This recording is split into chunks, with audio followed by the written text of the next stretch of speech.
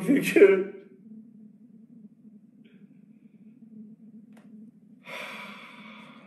Kardeşlerim bu 10 bin dolar konusuna gelelim. Şimdi biz sizle akit yaptık. Yalan konuşmayacağız diye. Benim her ay 10 bin dolar yolladığım bir milletvekili yok. Ama daha çok yolladıklarım var.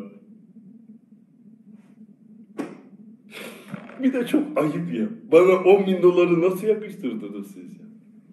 Ya ben aç kalırım, açıkta kalırım. Yine herkesten çok para veririm. Ya ben herkes bilir. Her maaşı yerinde ben birinci olurdum ya. Vallahi olmadı.